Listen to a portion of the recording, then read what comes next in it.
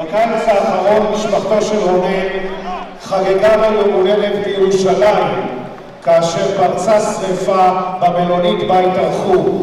רונן בתושייה גדולה ובסירות נפש חילץ את שני ילדיו יחד עם לוחמי האש אך נפגע קשה בשאיפת עשן וסבל מקריאות בכל גופו. כעבור חודשיים בבית החולים נפטר.